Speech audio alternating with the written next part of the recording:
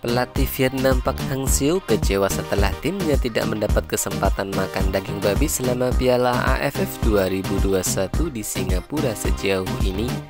Namun seperti biasa, sebelum lanjut ke pembahasan silahkan klik tombol subscribe dan nyalakan lonceng notifikasinya agar kalian tidak ketinggalan berita seputar olahraga. Oke football lovers, mari kita lanjut.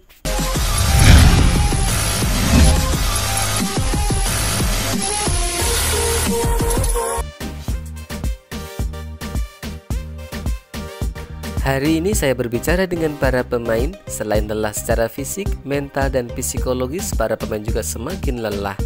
Harus hidup dengan perjalanan terbatas dan makan dan minum juga bermasalah, ujar Hang Seo dikutip dari Twitter. Kesulitan itu tidak bisa diatasi. Sekarang kami hanya bisa berpikir optimistis, berpikir positif melanjutkan turnamen ini, ucap Hang Seo menambahkan. Makan jadi masalah kalau kita harus makan menu yang sama. Tim-timnya berbeda agama dan budaya dan kita harus menghormati itu tutur Hang Siu. Misalnya Vietnam suka makan babi, sampai hari ini kami semua harus makan daging ayam.